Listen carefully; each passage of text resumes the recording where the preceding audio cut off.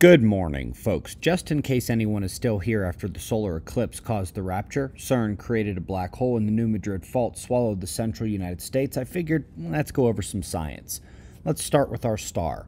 The last 24 hours were calm, but with signs of a resurgence in minor activity. We're watching the big plasma filament facing Earth and awaiting the return of major sunspot groups towards the end of the week.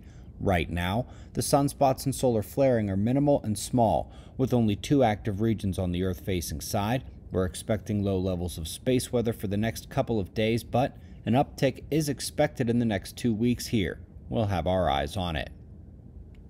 We had a moderately strong earthquake in Indonesia this morning, 6.6. Always amazes me that the West Pacific gets these almost weekly. They never seem to cause much damage when they would absolutely wreck any American city. Folks, while the SDO satellite on its polar orbit only caught a glimmer of the eclipse, which you can see bottom right here, the rest of the country, not hiding scared for their lives, got an amazing show. Since eclipse pictures are all over the net, figured I would show what the GOES satellite saw. Shadow traversing the continent here, coast to coast, in what won't happen again for 20 years.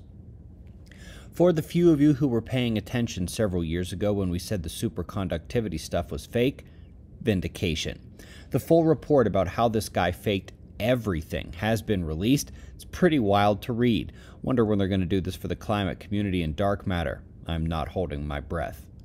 On to some cool stuff here. DESI has mapped the entire cosmos that has been logged with various telescopes over the years and compiled a distance video showing what a fly through would look like. The work is just beginning, however. Their data must compete with the new revelation that dark energy might not be real, therefore requiring alternative explanations for the expansive dynamics of the cosmos over time. Still pretty, though. But much more satisfying when astronomers admit they don't know something. This plasma cloud 100 million light years away doesn't look very spectacular, but it's enormous, and it does not have a host galaxy. The lack of a nucleus and the overall shape defy all known science, and after talking with half my contacts in the field last night, we don't know what it is either. Link is below, would love your thoughts. Lastly, folks, I can remember when the first recurrent nova event was discovered in M31.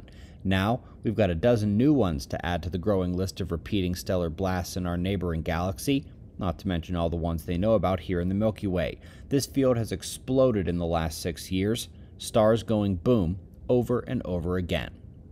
For those of you who are still experiencing life on Earth after yesterday's apocalypse, come see us on April 16th. Tickets are found at the link below. Lunch is included. Looking forward to shaking your hand and chatting about Observer stuff.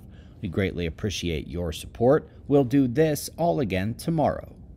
Right here, but right now it's 5:30 a.m. in the new Valley of the Sun. Eyes open. No fear. Be safe, everyone.